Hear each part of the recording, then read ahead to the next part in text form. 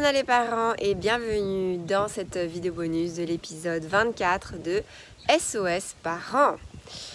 Tu es puni, ça c'est la phrase typique quand on n'a plus rien à dire, nous parents, et qu'on veut juste clôturer le truc et euh, aller prendre l'air ou en tout cas ne plus voir notre enfant. Ça c'est sûr que c'est une phrase qui nous permet ben, finalement de de, passer à autre chose, de ne plus s'occuper du truc, tellement ça nous agace, tellement ça nous révolte à l'intérieur. Donc dans ces moments-là, en fait, en réalité, on aurait plutôt besoin d'écoute et de compréhension, hein. mais comme on est tellement hors de nous, on n'arrive même pas à le formuler, et on va juste... Euh, aller tout faire bouler.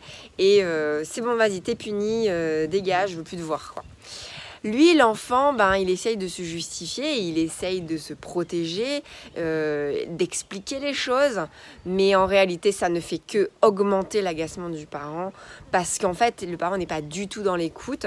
Il a vraiment besoin, lui, justement, de cette écoute-là, que l'enfant l'écoute. Donc finalement, euh, on peut même presque dire à nos enfants, tu vois, moi, quand je suis dans ces moments-là, juste écoute-moi parce que plus tu vas parler et plus ça va m'énerver encore plus.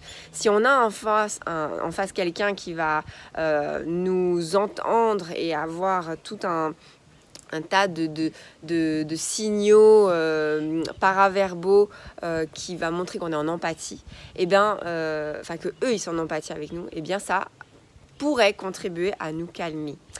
Il y a l'idée, une idée un peu folle, qu'un enfant ferait mieux euh, s'il se sent mal en fait. Cette idée, elle est culturelle euh, et elle nous a été inculquée avec notre éducation. Euh, c'est-à-dire que bah, quand on est un peu bousculé, quand on a envie de faire un truc et qu'on nous pousse, etc., ou qu'on nous fait honte, etc., et ben ouais, ben oui, ben moi après, ben, quand j'ai vécu ça, ben, après j'ai voulu montrer aux autres que je pouvais faire mieux et tout. Certes, ça peut arriver, effectivement, je m'aimerais dire même malheureusement. Mais quand même, dans la majorité des cas, euh, ça va créer plus de dégâts au niveau de l'estime de soi et aussi au niveau d'un comportement qui va devenir plus introverti pour se protéger encore plus, euh, plutôt que l'inverse. Les enfants qui vont vraiment être dans euh, quoi tu m'as fait mal, je vais te montrer que je suis pas comme ça, ça arrive, mais c'est des enfants qui sont vraiment, qui ont des capacités de résilience qui sont fortes et nourries par d'autres compétences psychosociales dans l'environnement, en, termes d'amour ou de valorisation euh, par ailleurs. Si c'est pas dans la famille, ça va être dans un groupe euh, d'amis ou euh, un club de sport, etc., etc. Donc globalement, cette idée que l'enfant fera mieux s'il se sent mal est fausse. ça va ne faire que accentuer une espèce de, de, de, rancœur, de revanche, de vengeance, de rébellion et si ça ne fait pas tout ça, de retrait tout simplement. L'enfant, il va juste se recroqueviller euh, sur lui-même en se disant, de toute façon, je suis nul, je vois rien, euh, je fais que abîmer le scooter, euh, il a raison, da, da, da, da, da, da. Et quand on pousse nos enfants, quand on leur dit justement, mais pourquoi t'as fait ça, non, non, non. Nous, finalement, notre objectif, c'est qu'ils se rendent compte de ce qu'ils ont fait de, de désagréable, d'inapproprié, et du coup, on voudrait qu'ils s'améliorent. Donc, en fait, en faisant, en ayant ce genre de mots, de phrases, de comportements en tant qu'adulte, eh bien, on va créer l'inverse. Hein. on va, on va, c'est comme si on allait euh, euh, nourrir euh, cette image de lui qu'il est de toute façon nul et qui va continuer à abîmer le scooter. Donc, posons-nous aussi, nous, parents, parfois des questions qui pourraient remettre en perspective. voilà. Ensuite, euh, du coup, c'est important aussi de se rendre compte que un enfant qui a confiance en nous va nous dire la vérité. Là, ce qui agace le parent, en plus que le scooter soit abîmé, etc., c'est aussi que l'enfant va essayer de se justifier. Mais même parfois, il va mentir parce que il va savoir que ça, son explication euh, sa justification n'est pas euh, valable, ne suffira pas, parce qu'il a l'expérience que son parent s'est déjà énervé plein de fois, euh, ou que ne l'écoute pas carrément. Hein. et donc du coup, bah, il va trouver des stratégies pour se protéger. Forcément, c'est humain, on ne peut pas leur reprocher. S'ils se sont fait tomber dessus 15 fois avant, c'est évident que la 16e fois, ils vont faire en sorte de ne pas se faire tomber dessus. Donc, du coup, le mensonge va faire partie de leurs options. Si vous euh, avez un comportement calme, posé, ferme, euh, énervé, mais où vous vous contrôlez et où vous posez vos mots euh, et vous, cherchez, vous expliquer correctement ce qui vous agace, qui vous, puisque vous agace, vous révolte quand même, vous, vous êtes carrément mais vous en avez ras-le-bol, quoi. Et puis c'est une perte d'argent, c'est une perte de temps, parce qu'après il faut réparer. C'est une perte de confiance, et c'est parce que vous imaginiez pour votre enfant, vous avez envie qu'il soit responsable, tout ça. Voilà, il y a tout ça qui se mélange à l'intérieur de vous. Si vous arrivez à poser les choses, à expliquer clairement à vos enfants exactement ce que vous ressentez, vos besoins, vos, vos, votre déception en fait, hein, eh bien, euh, du coup, votre enfant va avoir confiance que vous n'allez pas être une espèce de, tempête, euh, tornade qui va juste tout détruire son passage et puis s'en aller, quoi. Que vous allez expliquer les choses et que vous allez aussi dire ce que vous voulez et, et encore le plus top, le top du top, peut-être pas forcément tout de suite, mais à un moment donné, que vous alliez retourner vers lui pour trouver une solution sur le long terme. Toujours, en fait, finalement, euh, l'idée, ça va vraiment être de lui donner confiance que vous allez mener un processus de réparation jusqu'au bout, sans couper court par un fameux tu es puni. Donc du coup, comment mener jusqu'au bout ce processus de réparation? Eh bien, euh, je vous l'ai déjà un petit peu dit. Euh, vous allez parler de, conséquences, hein, forcément. Ben, le scooter est abîmé, donc du coup, il doit aller en réparation donc tu pourras plus l'utiliser.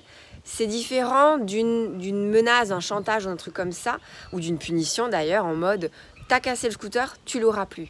Non, c'est en fait, il ne marche plus ou alors il est abîmé et comme c'est important pour moi bah, qu'il soit en bon état, donc du coup il va aller à la réparation, donc tu ne pourras plus l'utiliser. Ou alors on peut aussi euh, euh, comme ça découper les, séquences en fait de ce qui se passe en, termes de, de voilà d'événements. Hein il y a eu un accident. Du coup, euh, bon, le scooter n'est pas abîmé, certes, mais ce qui est abîmé, c'est ma confiance justement euh, en toi, parce que du coup, euh, c'est quand même de l'argent et une responsabilité. Et puis j'ai peur aussi parce que tu te mets en danger sur cet engin-là. Donc voilà, il y a une, une, baisse de confiance et du coup, à un moment donné, je peux plus te laisser prendre le scooter parce que j'ai besoin avant de pouvoir retrouver cette confiance en toi. Donc maintenant, qu'est-ce qu'on fait? Donc, la réparation est vraiment une étape hyper importante. Si vous laissez l'enfant juste avec t'as fait ci, t'as fait ça, il se passe ça et ça, il va, c'est déjà bien hein, parce que voilà, il va, il va entendre, il va comprendre, il va pouvoir analyser un peu plus la situation. Il va aussi pouvoir comprendre que c'est pas forcément lui, mais c'est la situation générale qui est problématique. Euh, maintenant, ce qui est mieux, c'est de pouvoir l'outiller pour pouvoir réparer, pour qu'il puisse se racheter. Et se racheter faisant juste sa punition, ça ne suffit pas. Euh, les punitions du type euh, euh, copier 100 fois la même chose, c'est d'un ridicule. Il n'y a aucune vertu pédagogique là-dedans. Jamais un enfant n'a appris quoi que ce soit en recopiant 100 fois la même chose. Ah mais il a appris par cœur sa table de multiplication. Non, non, non. Il y a tellement d'autres façons pour apprendre sa table de multiplication que, que de recopier 100 fois. Enfin, je veux dire, il y a aussi dans ce genre de pratique qui est la punition, euh, des dégâts en termes d'estime de soi qui sont euh, importantes à prendre en compte. Donc du coup, les réparations doivent être euh, pédagogiques, doivent leur apprendre quelque chose. Bon, alors, on va voir si c'est réparable. Ben, viens, je vais te montrer comment on peut réparer tout. Oui, ça va nous prendre du temps à nous, adultes. Mais la prochaine fois, parce que peut-être qu'il y aura une prochaine fois malheureusement, il pourra réparer tout seul. Et puis un jour dans sa vie d'adulte, ça risque d'arriver quand même. Il pourra réparer tout seul. Si ce sont des choses qu'il ne peut pas réparer, eh bien, il va appeler avec nous le garage. Il va prendre rendez-vous. Première fois, on, le fait. Deuxième fois, on est à côté. Troisième fois, il le fait tout seul. Euh, donc vraiment, cette idée d'autonomiser à chaque fois qu'il puisse réparer les choses, qu'il puisse grandir grâce à ses erreurs. Ça, c'est vraiment un cadeau que vous pouvez leur faire. Euh, autre chose, c'est aussi ben, de pouvoir justement euh, donc euh, projeter pour une prochaine fois quelles sont les règles du coup pour que ça n'arrive plus, et eh ben t'évites d'aller dans ce genre de quartier, tu fais attention à ça, à ça, à ça, ou alors tu n'as le droit de prendre le scooter que pendant ces moments-là, que pendant ces moments-là. Voilà, on va cadrer on va mettre un cadre de sécurité que l'on va restreindre tout petit au départ parce que ben, notre confiance a baissé.